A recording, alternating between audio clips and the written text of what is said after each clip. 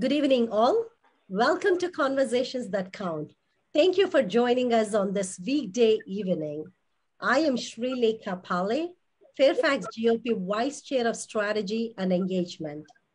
As Republican Party congressional primaries are coming up, I am continuing to focus on bringing in all our exemplary candidates to conversations that count so we get to know the candidates' positions on the issues that you and I care about. At Fairfax GOP, we are deeply committed to engaging all of our voters and constituents during this entire process. So if you have any questions for our candidate today, please post it on Facebook Live and I will try to get to all of them. Today, it is my honor to invite Monica, uh, Monica Carpio. Monica is running in 8th Congressional District along with three other candidates. Monica lives in McLean with her husband Jerry and their two wonderful daughters. She holds a bachelor's degree in economics from Stanford and a master's degree in economics from Cornell. That makes Monica, Ivy League economist, very proud. Monica has worked in the Federal Department of Labor for about eight years, as well as US Department of Commerce for about four years. Monica, welcome to Conversations That Count. I am glad you're here. Thank you so much, Rebecca. I am so happy to be here. This is a great opportunity to share my ideas and about to tell people about myself. Thank you so much. Excellent. Monica, let me first uh, start by asking what motivated you to run? I always wonder, I think uh, that's like always my best question for the candidates. Why did you think you wanted to run for Congress? It's a pretty big position to start off the political life. Yes. Um, well, I was motivated to run um, basically after the first three months of the pandemic. I was, I felt very disappointed in how politicians dealt with the pandemic. I thought that the individual rights of people were, were being taken away um, unreasonably, and I was very upset by the government overreach and by our local politicians. I was not very political before this. I always like to um, read what's you know read up what what's on the news and be well informed. However, I didn't know really who our local politicians were because I didn't really pay attention except for the, you know, like the governor, senators. Um, but that's when I started finding out about the school board members and about uh, other politicians like the congressmen in the area. And basically, I became really involved in Virginia politics the last two years. So I'm doing this because I think that a lot of us need a voice. We're not really being represented by our congressmen at the moment. Mm-hmm. Uh, Monica, I think those are wonderful reasons to run. A lot of candidates have seen how, how our country is shaping up in the last two years. But as we go along, I also would like you to talk about why Congress. I mean, uh, school board is coming up, supervisor is coming up. Uh, but I always like to understand um, congressional position is a uh, position that's more of like it does focus on local issues, but it focuses more on federal issues.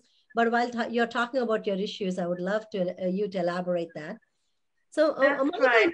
yeah, Monica, I'm, yeah, go ahead, go ahead, Monica. Well, I believe that with my life experience and my education, I could really make a difference. I've been living in the Beltway now for about uh, more than 20 years, and I'm an economist inside the Beltway and outside the Beltway. I've lived overseas and I've lived in various parts of our nation, uh, mainly in the West Coast and East Coast. And I have also lived in several parts of the 8th District in Arlington, Alexandria, um, and Fairfax County. And I think that as a congresswoman, I could really um, make more of a difference than a more a local level like school board or, you know, board of supervisors I think that what happened during the pandemic was really terrible. What politicians did, closing businesses, it really affected women and children in a very bad way. I mean, a lot of small business owners are women. And the school closures were really, really terrible for children. Um, also, look at the economy now. I mean, this is the after effect of having closed businesses and just printing money like crazy. This, you know, politicians, they just, they just, people can't be treated that way. I mean, it's really affected people's mental health, their their their um, ability to um, their economy, their, their personal income. Um, so something has to be done. These politicians have to be removed.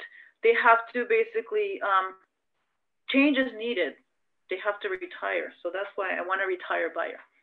Monica, I think that is great motivation to run. I would love to understand about Beyer a little bit, a little bit more. But Monica, I know first you were intending to run for um, 10th district because, but then redistricting happened and a lot of us got shuffled around. So voters are also in the mode of not understanding which district they belong to. It'll be great if you can elaborate the 8th congressional district boundaries, but I'm also very interested in knowing the demographics of 8th congressional district. Can you kind of hit on those two points? Yes. Um, so the 8th district is one of the smallest districts um, uh, geographically, but because the population is so dense, is in the upper corner by DC. It, it um, includes Arlington, Alexandria, Falls Church, and parts of Fairfax County. Um, so I live in the 8th district, right, really close to the border with the 11th district. And 50% of the 8th districts, of the 8th district, district, I mean, I'm sorry, are ethnic minorities. And, um, and a large part of that are Hispanic people. And as you can probably tell, I am Hispanic myself. Um, my background, my I was born in California and my parents are South American from um, Peru. And my dad, my parents came here when they were like, my dad's 16, my mother 21. Um, and in their country, there's there's a large Asian population. Uh, I don't know if you're familiar with that, um, especially Japanese and Chinese. Um, there was actually even one president who, um, um, Japanese Peruvian, Fujimori, and his daughter recently ran for president of Peru. Um, she lost. uh, but yeah, so um, so I feel like I will be a good representative for the 8th district because at the moment there are 11 congressmen in um, Virginia and only four are Republican, and uh, they're all men, and there are no female Republicans. Now that might change because I'm pretty much sure that Jennifer Wexton is going to lose in the 10th district, and she will probably lose to a to a woman, but is one female Republican congresswoman enough in Virginia? I would say no. Besides, I would say that we should have an ethnic minority um, represent the Republican Party because there's just a lot of us now. Um, and sure, um, I am not a seasoned public speaker. However, I'm not going to let that deter me from um, trying to do this because I feel like I'm qualified in other ways. I have the experience working for the federal government and also private industry. And I am also um, a parent. I'm a mother of two children who attend public schools. So my children attend public schools, so I know what all these people that suffered during the pandemic with the public schools closures went through. I understand that because I am a parent that supported Governor Youngkin um, in his campaign. Um, and I also supported the um, school board recall effort um, with the other mostly mothers because um, there were lots of volunteers. There were some dads there, but it was mostly moms. So uh, moms need a voice. Conservative moms need a voice because there are three congresswomen from Virginia right now: Elaine Luria, uh, Abigail Spanberger, and Jennifer Wexton. But they're all um, Democrats.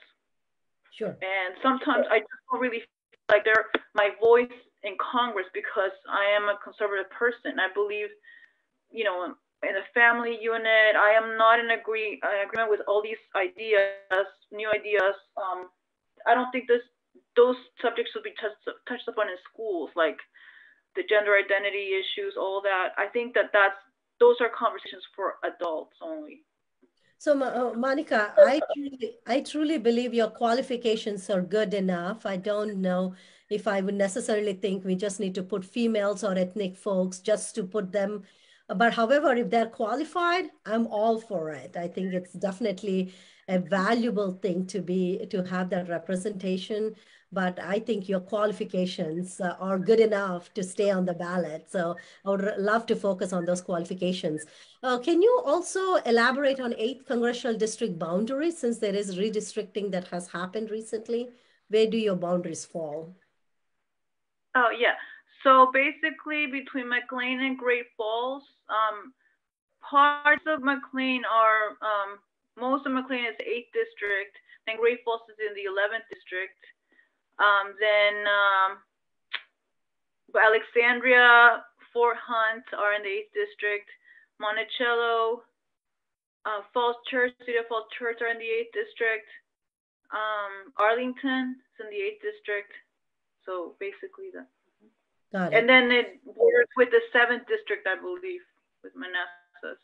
Oh, got it. Okay, okay. So it's a lot of Alexandria, a lot of Arlington and stuff. Uh, so, uh, Monica, I It's noticed. all, it's all of Arlington and all of Alexandria and all of Falls Church. Got it. Okay.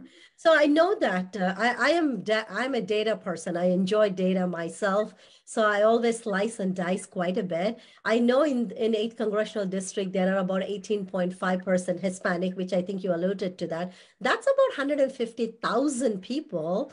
And we also have Black or African American, uh, which are about 112,000 people and close to 100,000 Asian American residents. So I know that as a, Latino American, you can relate very well to Hispanic uh, community. So, but are you trying to engage Black or African American and Asian communities? Because that would be a great strategizing, diverse engagement. So are you trying to Yes. kind of engage them? Yes, of course, of course I am. Um, currently, um, Virginia has two African American congressmen, and they, again, they're um, Democrats.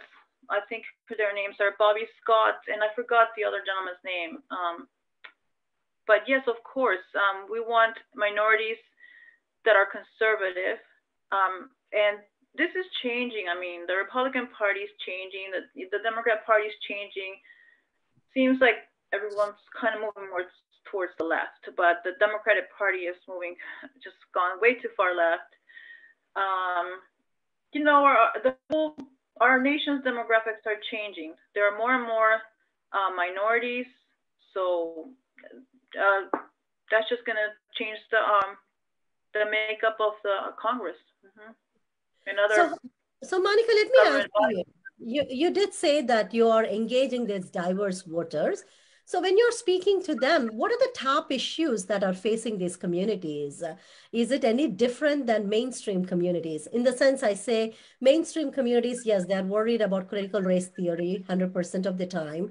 They're worried about small businesses shutting down. They're worried about public safety. But is that what diverse communities like African American communities, Asian communities, and Hispanic communities are also saying, or do they have different issues facing them? Well, I would say that a lot of issues are actually similar. I mean, all of the communities suffer with more crime. So, and also with bad schooling, you know, with with schools closing, you know, with children being taught things that the parents don't really relate to. So that affects all communities. So, I mean, I don't really want to I am I wouldn't just be a person representing minorities. I mean, a, I would be a person representing everyone. Um, so I think that that's one thing. I don't really want to be seen exactly as just like a minority person. I'm just an American. And um, some of these the issues right now are border control. Um, that's a really important issue to me because border control is super important because right now there's way too much illegal immigration and it's creating a problem with drugs, um, drugs in our youth, and crime, and overpopulation, over just oh, just extraining our public systems, like our school systems. That affects everyone. So we have to do something about that. Mm-hmm. I mean, like you've never heard so much about carjackings and sounds sometimes the news sounds like we're in another country like South Africa or something. It was I mean this this is not what happened before here. And I believe that people here basically families are just strained. I mean it's just so it's so difficult for families just to like basically to, you know, be able to meet their needs. I mean, a lot of a lot of families have to work two jobs just to be able to have appropriate housing for their children, and it shouldn't be that way. So there's a problem with immigration. There's too much illegal immigration in my mind, and I think that's affecting everyone. You know, not just the, the you know, not just minorities or not just the majority.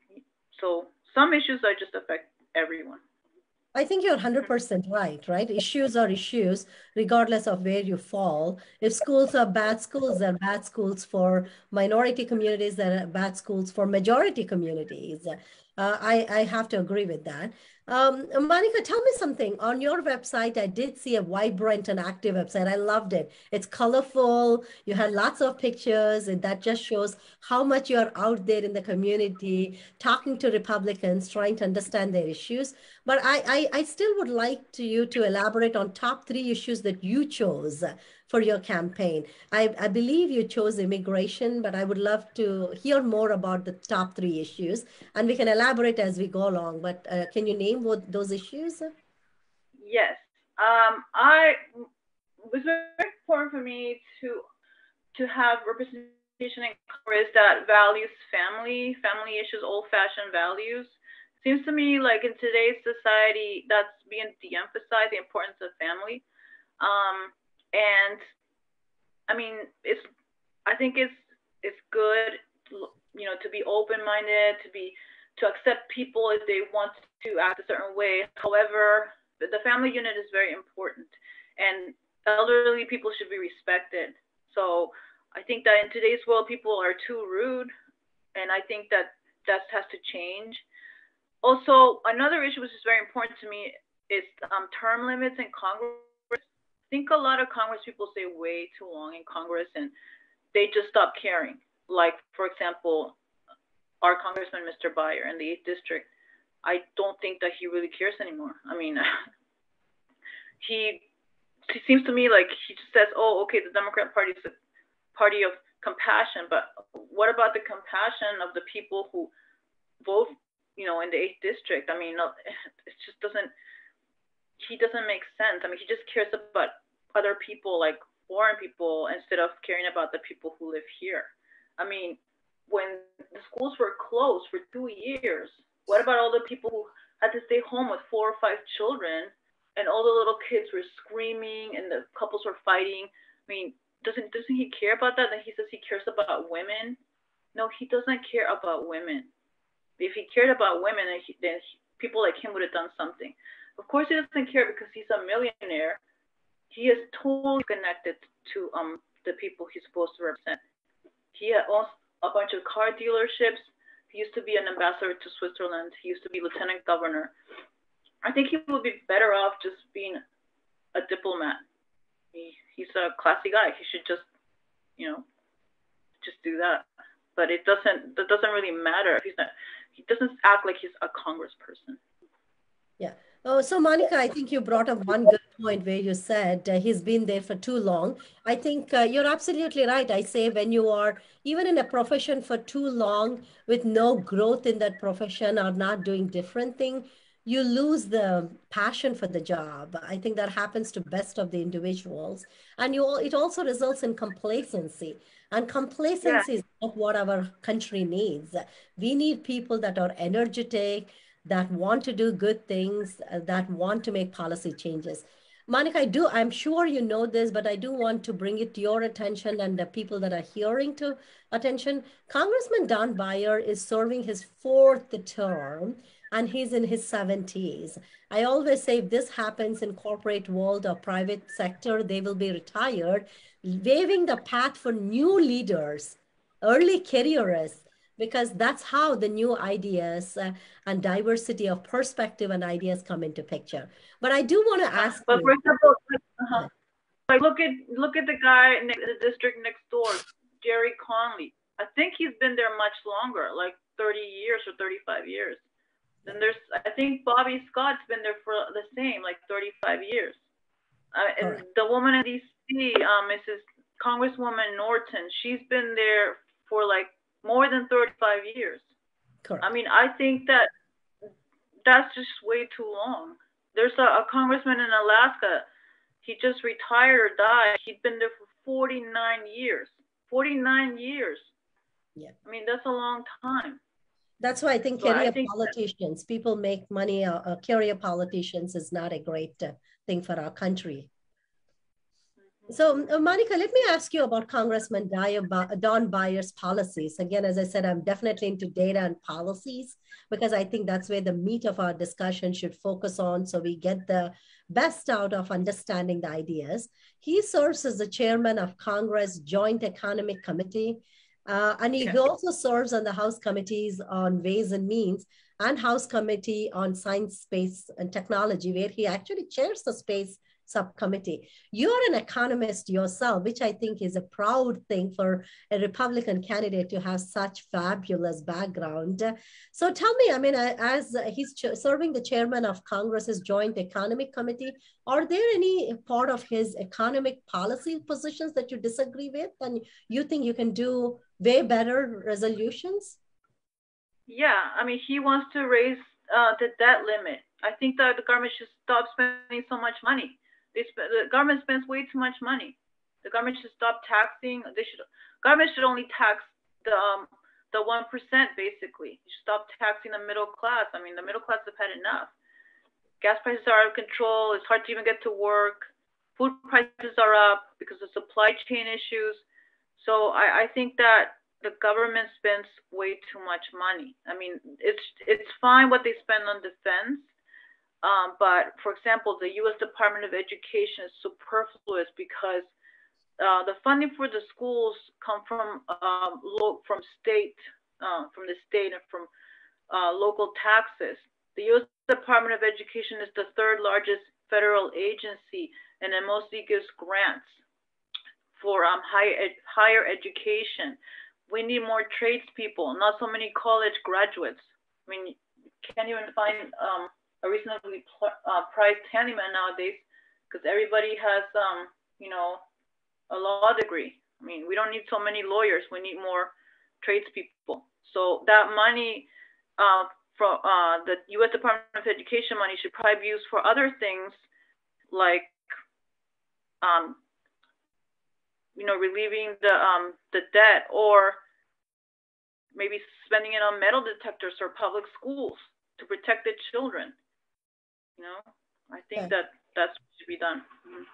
Well, uh, Monica, you obviously have some concrete policy differences between you and Don Beyer. I want to stick to federal debt because I also want to pick your brain on your you being an economist and also our federal debt issue that's going on. As you know, it has become a large per- percentage of GDP than it has ever been. Um, as a result, I mean, as every woman, man, and child in our country now has a $90,000 government credit card bill, courtesy of uh, Don Beyer's work in the House of Ways and Means Committee and the Joint Economic Committee. I, I think this happened because Beyer thought it was okay when he voted to raise the federal debt limits. Have you ever asked uh, your congressman about this? I mean, um, I'm, I'm curious to know how, I know that debates won't happen until primaries are over, but I, I didn't know if you got a chance to ask him via town halls or through an email. I mean, uh, what kind of interactions if you had? If so what was his response for raising such a large amount? No I, have never met don Beyer, but i am planning to attend his women's conference uh, on friday may 6th i want to see what he has to say. I want to see what he has to say a bit about issues like domestic violence or um, you know women's women's um, you know conditions in the workplace. I mean, why do women get paid less in general for the same kind of work than men do with the same kinds of degrees?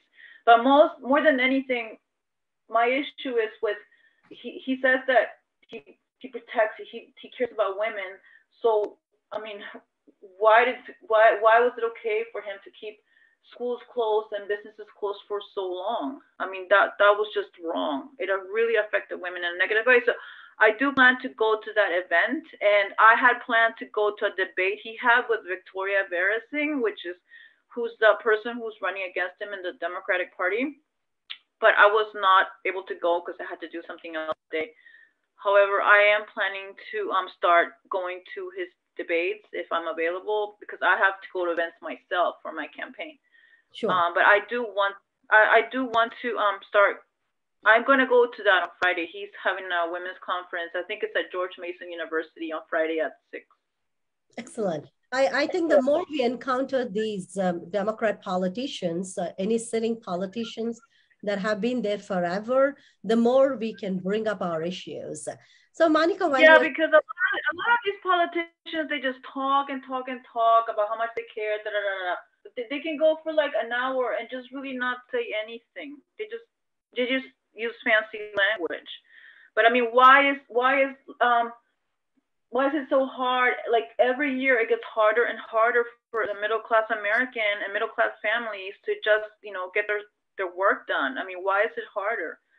So it doesn't matter how fancy people talk. I mean, how is it affecting families?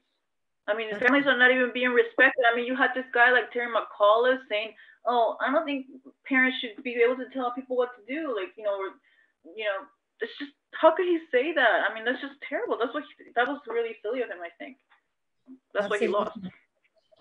Absolutely, Monica. I was present during the debate, and uh, I was pretty shocked myself. Uh, Monica, I mean, I think you you started talking about it in your previous answer. I really want to grab onto that. You talked about women's rights. You talked about why are women's not women not getting paid more although i think uh, i i think that is much more complex issue there's uh, much yeah and also can i just say i just want to clarify something because i got an email from, from a couple of people the last few months I guess when I said women's rights, they thought I was talking about, you know, abortion, but I really I wasn't. I was actually talking more about the issue of domestic violence.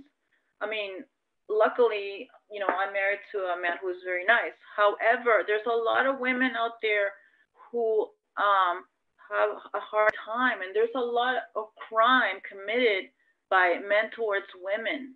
A lot. Like I see it on the news every single day. I mean, we need more laws that protect women, that protect children, that protect um, kids that go on uh, the are uh, adopted children, because a lot of adopted children are adopted by people who are not the right people who, to do that. So you, there should there should be like a national da- database for um, children who are adopted, not just state databases, because sometimes the people who adopt the children they don't treat them very well. So, Monica, domestic abuse is a real thing. Uh, I'm glad you kind of alluded to that. It is not just one of those social issues you can disregard. That is a real problem. I always say healthcare and affordability is a real problem. Prescription drug prices is a real problem. Domestic abuse is yeah. a real problem. Uh, affordable yeah, prescription. I mean, like the, the medical, um, the whole pharmaceutical industry is just out of control. I mean, it's really hard for seniors to just get their medicines. I mean, they can't afford to get their medicines or even go to the doctor with the social security, you know, payments they get. It's it's hard. I mean, the whole medical industry is just it's just out of control. It's just too much red tape. It's it's just terrible. So things have to be simplified. It seems, it seems to me like everything's so complicated. There's so many loopholes. There just needs to be more straight talk in government, you know. Monica, I know you briefly mentioned about Social Security. On your website, I reviewed the website. Uh, every time I try to sit with a candidate, I pra practically memorize everything that's on the website because it gives me an insight of what the candidate is thinking. On your website, you alluded to the fact that you'll start working on cutting waste from the budget, and you'll start with 68 billion of fraud and abuse in Medicare and Medicaid. I believe you also alluded a little bit to the Social Security too. So is there any data behind it? Is that that that is an astounding number, $68 billion of fraud. Uh, where did you, I know you're an economist and I'm not. um, so where did you get that number from? And also can you elaborate on what kind of fraud are you talking about? Um, yeah, well, first of all, I didn't, I don't do all my website work. I mean, there's a, I have a team of people who work on the website and the emails I do post the social media myself, but I have also a lot of advisors, um, and these are people who actually I don't I don't pay. I just um, they're all volunteers, and they're great. Um, so they a lot of information you know, it's not just my work, but it's also other people's work. Um, yeah, so the fraud with that is basically so a lot of people the the cost is so high because people come from other countries and they just come to the doctor here if they have an accident or something. It, basically, they get treated for free. And where does that money come from? From the taxpayers. So I mean, there should be more control at the borders and more visa restrictions. Basically, I mean, I, I it's not it's not being mean, but people need to realize that this country is just there's just basically no more space for people. It's just it's just there's just no more space or money. Things have changed. My parents immigrated here 50 years ago, but the situation has totally changed. So it's like if you don't have any more money to give out, then don't. I, I agree with a candidate that's being criticized right now because he's saying that the United States should, shouldn't be spending so much money on foreign aid.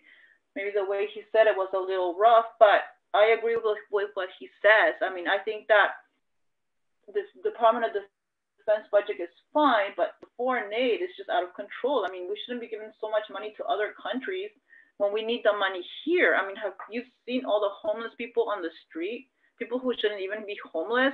They're even drugged. I mean, you can tell these people are not in their right mind sometimes.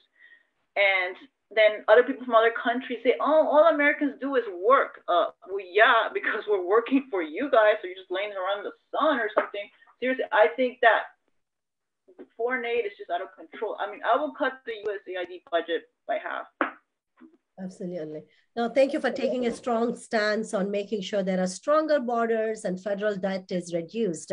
I think um, if you're the elected congresswoman and you live up to those promises, our children and grandchildren will thank you.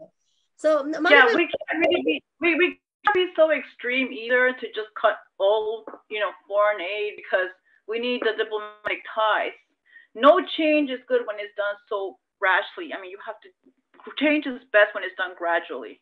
Yeah. However, um, also very strategically, right? You want to do it gradually, but you want to be very strategic. If any countries are really take our money and uh, put it for good use, as in like maintain strong borders, maintain national defense, and uh, take care of their people from a humanitarian grounds is great.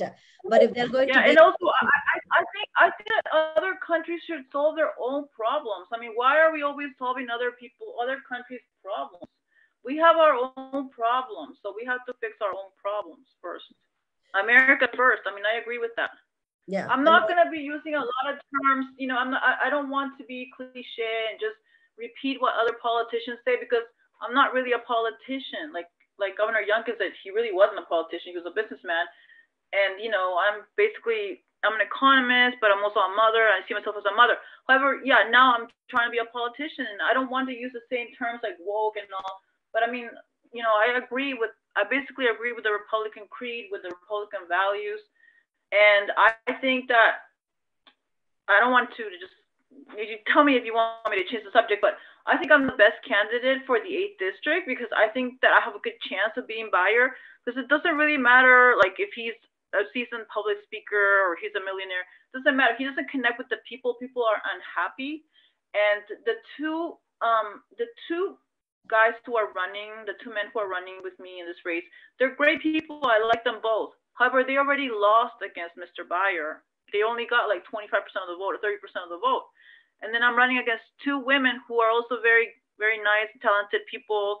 They're very smart women. And one of them is a mother as well. She, she has four children.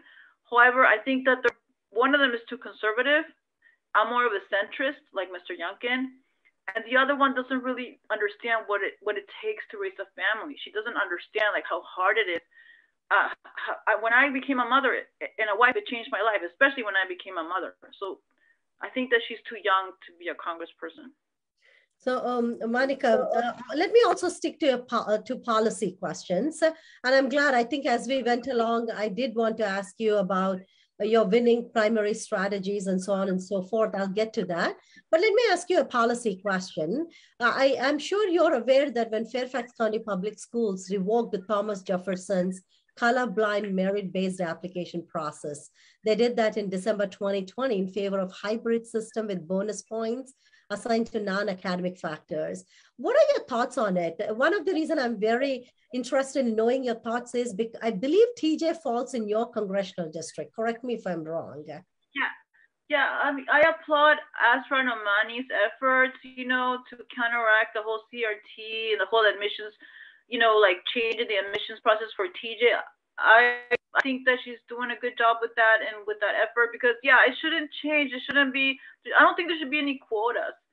I mean, look, I probably benefited from that. I guess with my um, getting into Stanford maybe because I'm a, a minority. However, I don't really. I, I don't think that people should be given any any favors or anything because it's just it just creates like it's too much pressure on everyone and it's just not right. It should just be uh, based on like academic achievement. The admission should be based on academic achievement because that was the whole purpose of having a special school. It doesn't just, so I think it's wrong. I think that the TJ should just be what it was before and just admit people, um, kids with the highest grades. Mm-hmm. Absolutely, meritocracy is the key. It just, and also, it just if, if it's not doing any service to Hispanic or, or, or the African American or Hispanic community because then it just creates a negative sentiment towards those communities. Absolutely. And also, I think uh, I always say Hispanics, Black, doesn't matter the color. They're all equally capable. They're all very smart, very bright children. I've been um, part of PTAs and in and out of schools all the time because I do have two uh, kids. I mean, I don't think um, the intelligence has anything to do with any any color. It's like all of them are smart. Yeah, and also also Srilekha, I I think that there are several kinds of intelligences, not just you know math and reading. There's also musical intelligence, um, which some ethnic groups seem to excel more than others. Like African Americans are usually better singers. I mean, and they're very good at athletics. So there's there's athletic intelligence. There's there's I think there's like seven kinds of intelligences, artistic intelligence. So you know, I don't see why things have to change so much so fast and you know just create friction among the ethnic groups. I think that you know, I I I think that Asra Nomani is doing a good job with that uh, Monica, I wish you would speak on school board and say the exact thing because intelligence means that you just don't have to just be good in math and science, right? Actually, growing up, I was never good in math at all. I was very good in science and biology. So I chose to become a healthcare professional and not an engineer. So I, I don't have to be an engineer in order to thrive. I can do what I'm good at. And I'm sure you are too. I mean, there is a reason you would have chosen to be economist. I said I could never get into a New York University of Arts because that's not my expertise. And it's okay. It doesn't make us uh, any small of an individual. It's just focusing on the, the thoughts. Monica, on your website, I saw you writing, and I, I just really, I, I would love to get some clarification. It says you support workers' right to a safe workplace. What, what do you mean exactly when you say workers' right to safe workplace? Oh, yes, because, uh, well, I, I probably was referring to um, that there should be more metal detectors at workplaces um, because there's been a lot of incidents of, um, you know, like mass shootings in the last years. So I was probably referring to that. I'm a big proponent of metal detectors at, um, at um, workplaces with, um, you know, a large number of employees. Uh, so, uh, so Monica, I know you spoke a bit about your candidate, about your other candidates, uh, which is for which is great. But what is your uh, strategy for winning primaries? Because at the end of the day, you need to beat other four candidates in order to become a, a primary candidates, congressional candidates. So, what's your strategy? You don't have to share your home secrets, but would love to understand the grand strategy. Um, is it registering more delegates? I know that is closed in eighth district, but what's your strategy for winning primaries? Okay, well, yeah, delegates. Uh, I'm to um, you know, go out to out to delegates, like you know, going to houses, door knocking, via phone bank as well. Um, trying to listen, trying to write back when they write me emails. Um, trying to get to know them by going to all the events and forums. I try to attend all the forums, um, and I think that's important because it's different than just you know, reading your statements or just calling in. I did call in once because I had to go see my parents in Florida. However, it's better to go in person. So some people are not going in person, um, but most of us are. Anyway, um, I basically the delegates have to ask themselves, do we really want Don Beyer removed? Because it's possible if you elect someone like myself. Yeah, I might not be, you know, I might not be the classic politician. However, I really, I'm really good with people. People just like me. For some reason, they feel comfortable with me. You know, I don't know, maybe because I don't lord it over uh, them, like, you know, all my skills and life experience, just the way I am. They just like me. That's why I have so many volunteers and that's why people are just really passionate about me. They just I don't know why. I mean, yes, maybe I'm showing off a little now, but that's just the way it is. So if they if, if people in the eighth district really want change, if they really want Don Beyer removed, then they should vote for me. Because I speak Spanish and I'm going to launch a campaign in Spanish. Um, and also I feel very comfortable with the Asian community. Uh, I have I have very com- I'm very comfortable with the international community. I grew up partly overseas, and um, so I got to experience different cultures. I actually even lived in Central America in a large. There's a large Central American population here in the Eighth District. And in my years at university, I had many friends, many um, Asian friends, particularly Indian friends um, because of where I went to school. There's a large um, Asian um, population in these schools. A lot of because they're very studious. That's just the, that's just the truth. I mean, they have a good education system in those countries, or they come here. The best come here to study at, at the universities that I attended. So, you know, I feel very comfortable with them, and I think that that's really going to help me to um, beat Don Beyer because Don Beyer is just disconnected. Yeah, sure, he goes, maybe he goes to the mosque or something once a year, but you know, he doesn't he doesn't really relate to the people. The people don't, you know, they don't relate to him. Monica, I, I think I have to agree with you. On an average, research shows that Asian kids put in close to six hours more than an average American kid. Asian Americans puts an extraordinary amount of uh, time into their education. So th uh, that could be part of the reason why they're successful. It's not that any Asian American are born brilliant. All of them put in amazing, amazing amount of uh, hard work to get where they are. So uh, Monica, tell, um, uh, tell me something in the last, I mean, we are coming almost to the end of the program. So I was curious to know, since you mentioned about Asia, Asian Americans, May is Asian American month. Uh, I want you to comment on two things. One is there is a lot of this Asian American hate going on. It could be the news, news media exaggerating, or it could be the real thing. I mean, recently, even as of today, one of my friends sent an article that stated that Asian American hate uh, crimes are going up in DC area. First thing, I would love to know your thoughts. But second thing is, uh, I know Eden Center is in um, 8th District too, uh, and Eden yeah. Center is um, a hub for Asian American voter mobilization. So do you interact with them? How is your collaboration with them in order to ensure um, our, our people have a voice?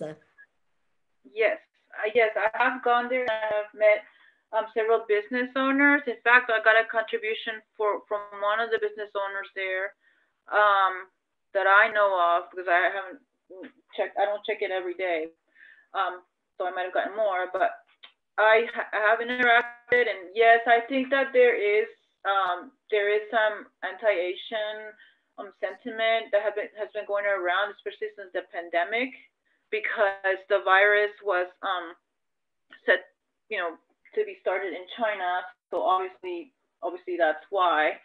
And I think that Asian Americans have to deal with that, which is really hard for them. However, you know, I, I mean, I, I actually follow this this um one talk show person on TV. I don't think that you know who she is because um, people in DC are so serious, and you know, me too. I'm a very serious person. However, I like to follow people who are not as serious. Her name is Jeannie Mai. She's actually a fashion fashionista and also a talk show hostess. And she's Asian American. She has like millions of followers. And she talks about this a lot in her show. It's called The Real is for Women Talking. Um, so I can see definitely that you know Asian Americans have to deal with this sentiment of feeling like you know they're they're not American, that they're from China, that all these things that are said about them. So it's hard. I mean, it's hard for minorities sometimes to just try to just fit in, you know, because and also on television, minorities are not really represented as well, and it's, it's hard. So Asian Americans and other minorities have to try harder to fit in, and it's hard. But people just don't really understand that. It, and also, it looks bad to complain because people don't like that.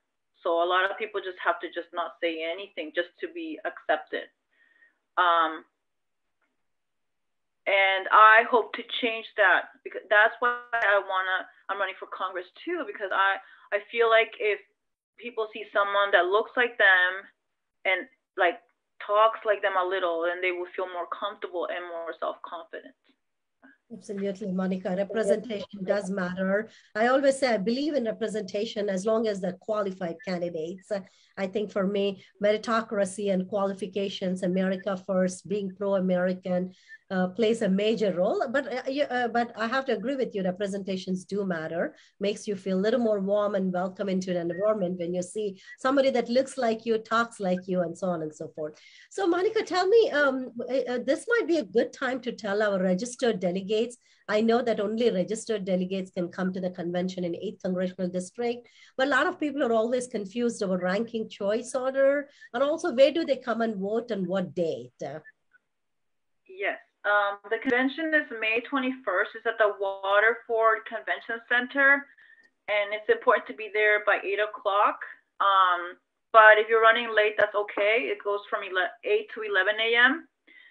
And um, I believe the candidates were we're going to speak there. Um, my my team's going to be there. I'm going to be there. Um, I'm going to be there to answer any questions that people have and talk about you know what what's important to people.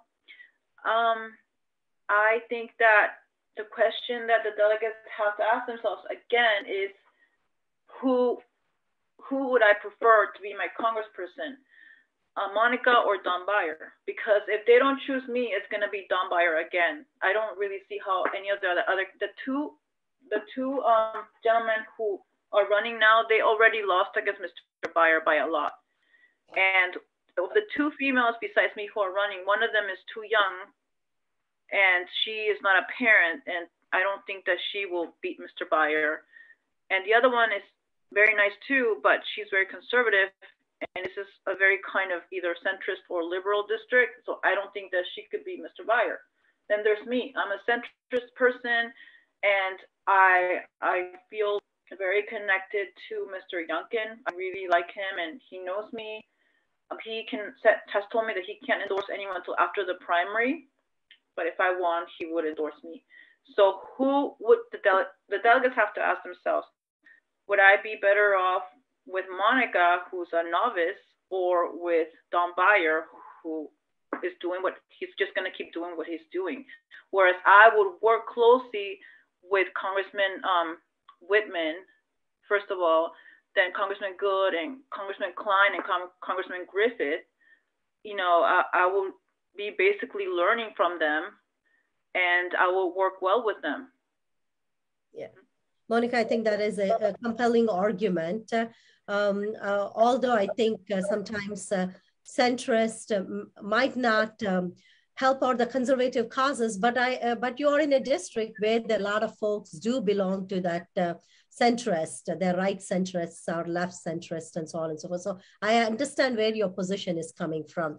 So Monica, in the last few minutes, uh, uh, please tell our viewers if I missed anything, because I always say, I want to ask candidates all questions. I want to understand their education policy. I want to understand their pro-life. I want to understand their second, uh, second amendment rights. I want to understand about their uh, federal experience with regards to social security trust funds, multiple things, but you can only capture so many.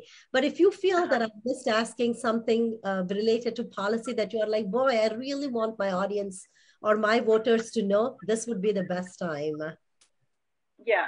Well, I want to say that if I were elected, I would use my Spanish skills at the border. I would travel with Congressman Good to the border. I would ask to accompany him to try to, um, you know, clear up any miscommunications there are there, because this is a really serious issue that's affecting everything: our economy, crime, education. The border, for me, is the number one issue. I mean, border control is the number one issue, and you know, I'd be there with Congressman Good. He's already gone there times. There's um, this uh, government, I mean, sorry, Governor Abbott from Texas. He's a Republican. I don't know if you know about him. Um, the poor guy's actually disabled. He had a horrible accident when he was very young. Um, he he's a Republican, and I agree with most of the things that he does, obviously. However, I don't like the fact that he's sending these buses over here, like on the, we're on the eighth bus here, and we don't need any illegal immigrants here in DC. He's trying to make a point, and he's making it. We need to fix up the border control issue because it's affecting us here in Virginia. So we need to fix that. It's not just affecting the whole country. And also, I just want to say that um, I want to get to know the delegates better, and that's why I'm having a barbecue this Mother's Day at my home in McLean, and the delegates obviously don't have to pay. They're invited so they can get to know me and my family better. I hope that everyone has a chance to look at my website, which is just my name, monicacarpio.com, where I have many pictures because uh, pictures tell a thousand words in one quick minute. So pictures sometimes are better than words. I have many pictures of uh, my family, my friends, my volunteers, politicians that I like and have met um, in the last couple of years. So um, please go on my website, monicacarpio.com, and just let me know what you think. I, I, I like to receive emails because I, I take into account um, all kinds of opinions. Thank you so much. Monica, thank you for joining us. Uh, this was a this was a great conversation, and I wish you the very best in primaries. You made a case to our voters of why you're the best candidates you also made a case about the issues, whether we agree or disagree. Your, your, you laid out to our voters, and now voters will choose the best candidate. You are, if you are the chosen candidate, hope you come by uh, again after your primary. So we can do a deep, deep dive into many issues that are plaguing our country and in particular 8th congressional district. Uh, i wish you the very best. And uh, um, I always say that may the best candidate win. And I just have no um, doubt that with all the enthusiasm and spirit that our candidates have, you're out there all the time, door knocking, strategizing, working with our constituents, and everything will pay off in for us. So viewers, you heard Monica Carpio. She's running for 8th Congressional District. Please go to her website. Uh, consider volunteering, consider your donations. I always say time, talent, and treasure are the most important things for candidates. Uh, I wish you take the time to at least dedicate one of those to our candidates. And uh, you heard Monica's positions. If you agree with her, please consider going to her website. A couple of announcements this coming Friday at 6 p.m. on Conversations That Count. I'm going to have Xi Van Fleet. Xi uh, grew up in China during the height of Mao's Cultural Revolution and Xi, compelled by her personal experience during, during this Chinese Cultural Re Revolution and the realization that what she's experienced in China is now taking place within United States. So she has committed herself to warn the American people and help them see, help us see what is currently happening in our school system and in society in general. So you would love that conversation. May is an Asian American month. And I wanted to definitely open with our candidate, Monica Carpio. It's very important we get our candidates information, but I also wanted to bring in our Chinese American that can speak about Asian American month. On Saturday at uh, May 7th at 6 p.m., we will have another candidate, Captain Hung Cao. He's a congressional candidate running for 10th district. I hope you continue to tune in, continue to support our candidates that are putting their family life out there. Monica has two beautiful children and husband, from my understanding, your husband is writing a third book on cybersecurity, which is, I think, is phenomenal. So, uh, I mean, people are putting their personal time and effort. So I hope you consider voting for the right candidate and coming out and supporting them. Continue to tune in to learn about our candidates. This will be posted on YouTube. So if you missed a part of it, please go into YouTube and understand Monica's positions. Please don't forget to subscribe to Fairfax GOP and share these videos far and wide. Our candidates don't have the name recognition that millionaire, like Monica was saying, Congressman Don Beyer, who has been in Congress for multiple terms, have it. So our candidates really need that exposure that they need and deserve. So please do that. Thank you so much. You have a wonderful evening. God bless you Thank all. You God bless candidates. Take care.